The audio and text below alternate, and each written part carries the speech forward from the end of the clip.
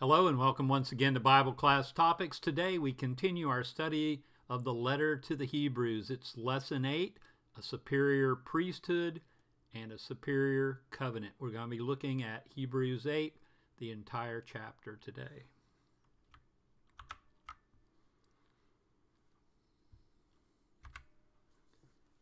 We've been talking about the three superiors in the book of Hebrews. We've talked about a superior person, Jesus Christ.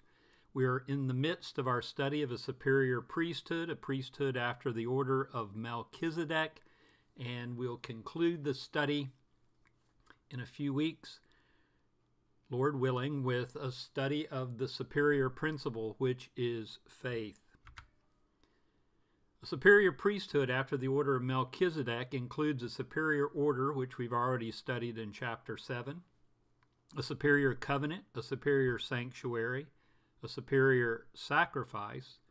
And then the Hebrew writer will take a little time out in chapter 10 to exhort his readers to not despise the word of God.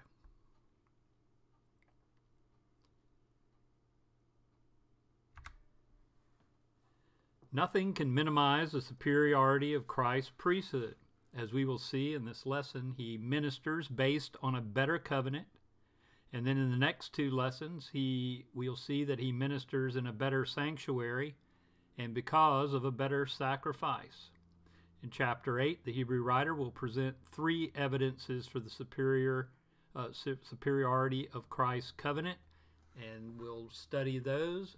The first one being ministered by a superior high priest, then ministered in a better place, and finally founded on better promises.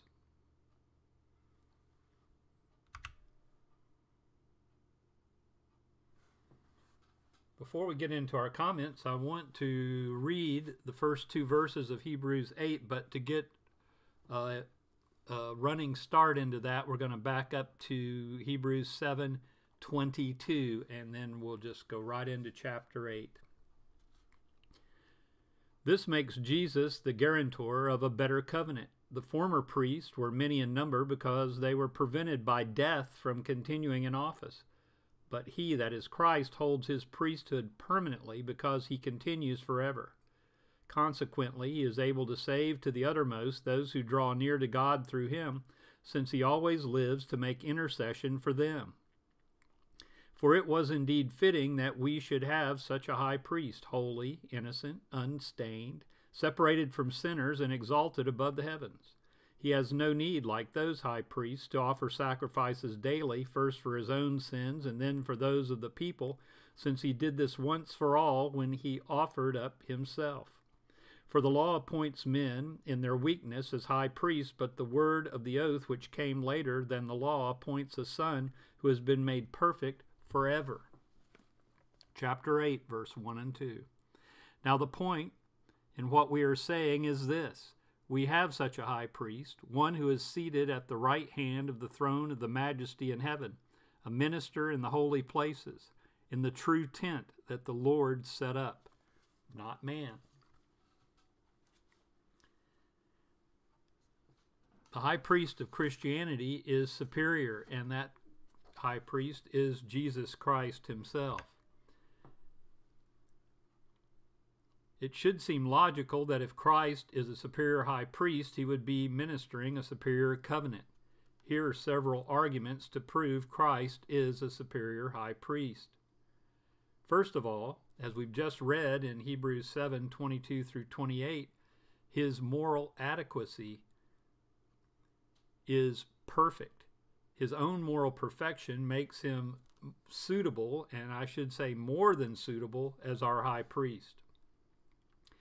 Also, as we read in verse 1, his finished work. There was no reason for an Old Testament high priest to sit because their work was never finished. The fact that they had to repeat their sacrifices stood as a reminder that their work was never finished. In John 1, verse 29, the next day he saw Jesus coming toward him, and he said, Behold, the Lamb of God who takes away the sin of the world. Now we're talking about John the Baptist. John the Baptist sees Jesus, Behold, the Lamb of God who takes away the sin of the world. The Old Testament high priest could not do that. In addition to his moral adequacy and his finished work, he also is a superior high priest because of his enthronement. Where is Jesus seated? He's seated at God's right hand. In Hebrews 1 3, he is the radiance of the glory of God and the exact imprint of his nature, and he upholds the universe by the word of his power. After making purification for sins, he sat down at the right hand of the majesty on high. We'll, re- we'll study further about this in chapter 10. I'll read verse 12. But when Christ had offered all for, for a time a single. Let me start over. But when Christ had offered for all time a single sacrifice for sins, he sat down at the right hand of God. In chapter 12 and verse 2, looking to Jesus, the founder and perfecter of our faith, who for the joy that was set before him endured the cross, despising the shame, and is seated at the right hand of the throne of God.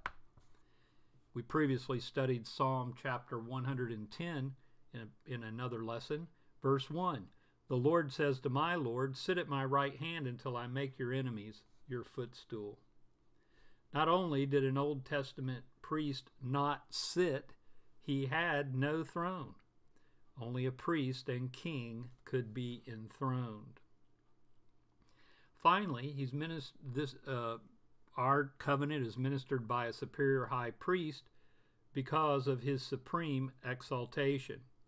He is ministering from the heavenly sanctuary, a place no human being other than Jesus Christ has ever been to sit and minister.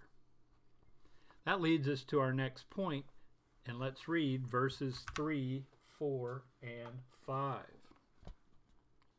For every high priest is appointed to offer gifts and sacrifices. Thus, it is necessary for this priest also to have something to offer. Now, if he were on earth, he would not be a priest at all, since there are priests who offer gifts according to the law.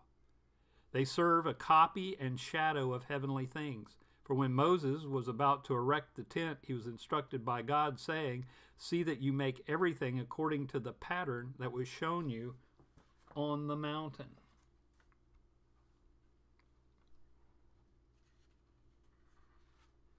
In the time of this writing, it is possible that the physical temple still existed. Hebrew letter could have been written before 70 AD. It would be easy for the readers to slip back into that seeable tradition.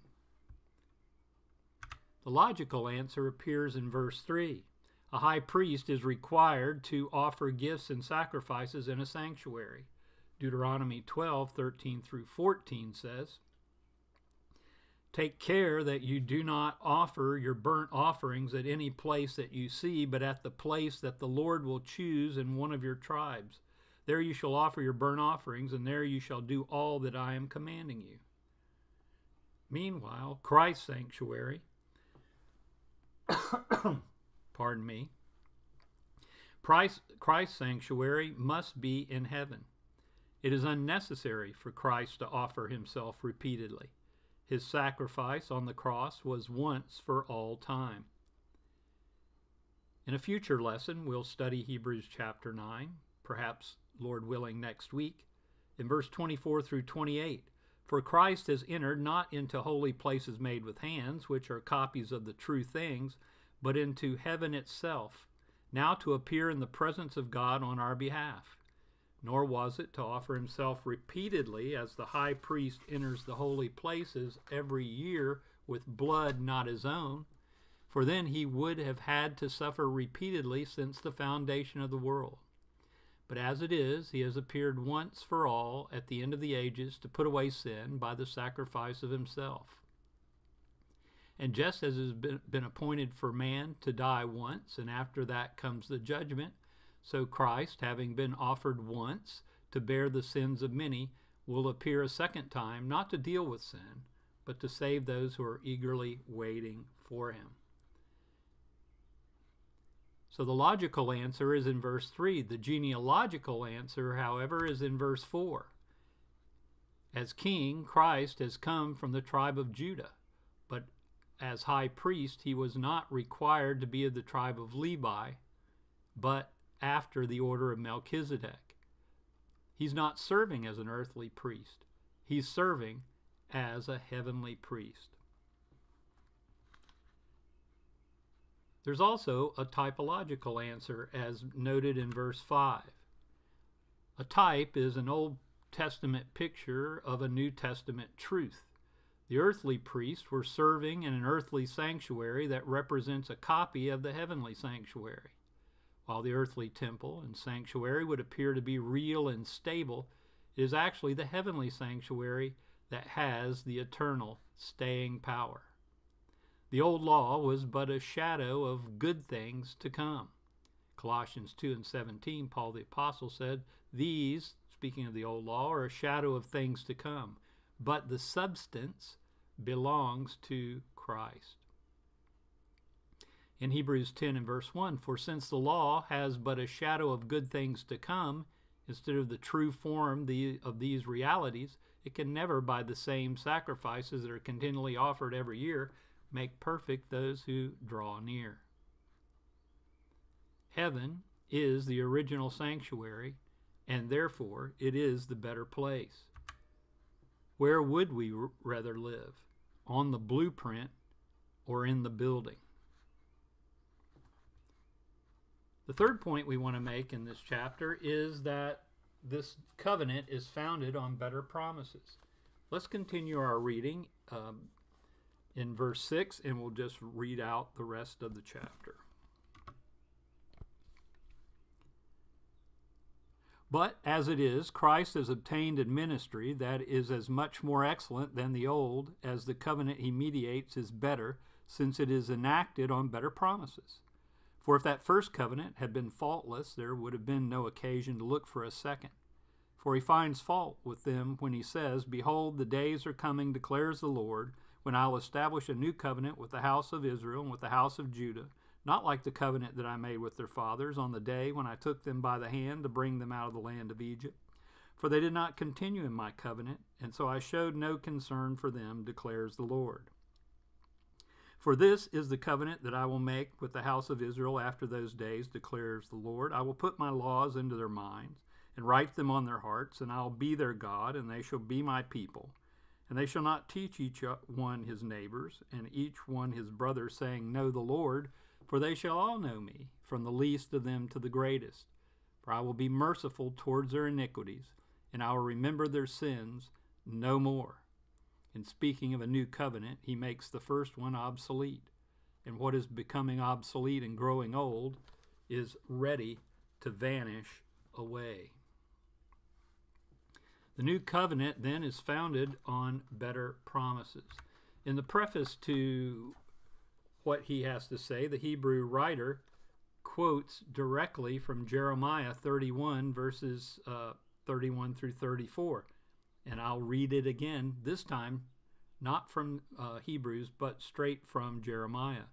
Behold, the days are coming, declares the Lord, when I will make a new covenant with the house of Israel and the house of Judah not like the covenant I made with their fathers on the day when I took them by the hand to bring them out of the land of Egypt, my covenant that they broke, though I was their husband, declares the Lord. For this is the covenant that I will make with the house of Israel after those days, declares the Lord. I will put my law within them, and I will write it on their hearts, and I will be their God, and they shall be my people. And no longer shall each one teach his neighbor and each his brother, saying, Know the Lord for they shall all know me, from the least of them to the greatest, declares the Lord. For I will forgive their iniquity, and I will remember their sins no more. So we've read this twice now. Once from the Hebrew writer as he quotes pretty much word for word from Jeremiah the prophet. The new covenant is for the Jew first and also for the Greek, as Paul often says in his writings, Jesus stands as the go between in the middle of man and God. Who held such a position as this under the old law? It could not be held because no one was qualified as the ultimate prophet, the ultimate priest, and the ultimate king. In verses 7 through 9, we want to mention the promise of God's grace. Because remember, this covenant is founded on better promises. For there to be need of a new covenant argues for the failure of the old. Man does not have within him what it would take to keep the old law. The new law depends on God's grace as opposed to purely man's obedience. In verse 10, we see the promise of internal change. In Ezekiel 36, verses 26 and 27, the prophet said, And I will give you a new heart, and a new spirit I will put within you. And I will remove the heart of stone from your flesh, and give you a heart of flesh. And I will put my spirit within you, and cause you to walk in my statutes, and be careful to obey my rules. And of course, this is Ezekiel the prophet quoting from God the Father. The new covenant, then, is inward as opposed to the outward covenant of the old law. The inward covenant, the new covenant, is also spiritual. The true believer carries the new covenant in his heart.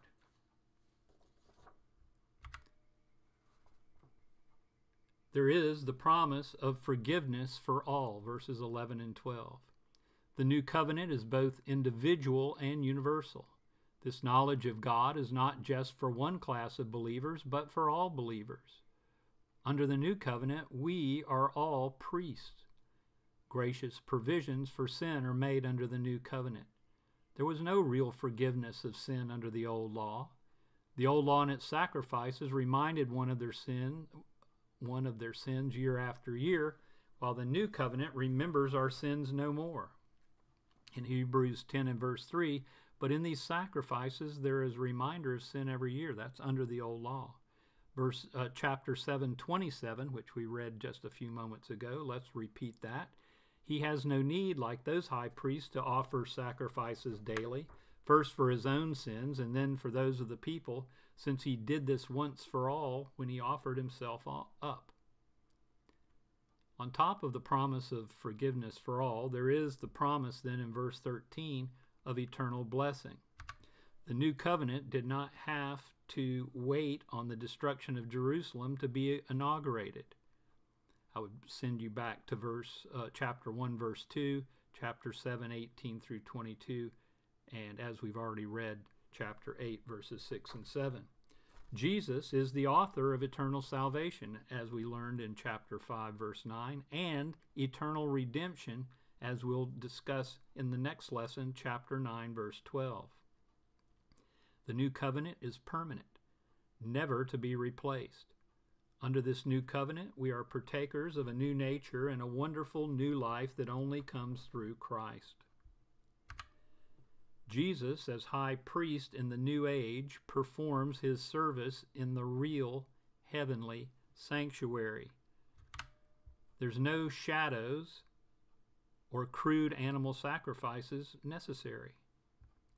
God's presence in heaven confirms it as the real sanctuary.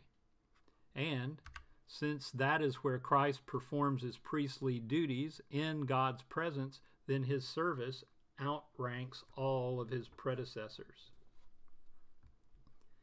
If we set the two covenants side by side, we see that the old is clearly inferior to the new. The inability of the old to bring man close to God, coupled with Israel's continual lack of obedience, doomed it to be abolished. The new, the new covenant provides its followers with better promises, better promises that are written on their hearts, and establishing within them a full and universal knowledge of God and removing their burden of guilt and sin forever. Thank you so much for watching. We hope that these lessons on the book of Hebrews are have been enlightening to you and will continue to be so, helping you to get a better knowledge of the things that God would have us to do while living under his new covenant. If you would like to subscribe to this channel, I would appreciate it. You can also ring the notification bell, and that will send you a message every time a new video is published. If you would like or even dislike this video, it would help. And also, if you would leave me a comment in the comment section below, I would love to hear from you. Until we meet again to study together, may God bless.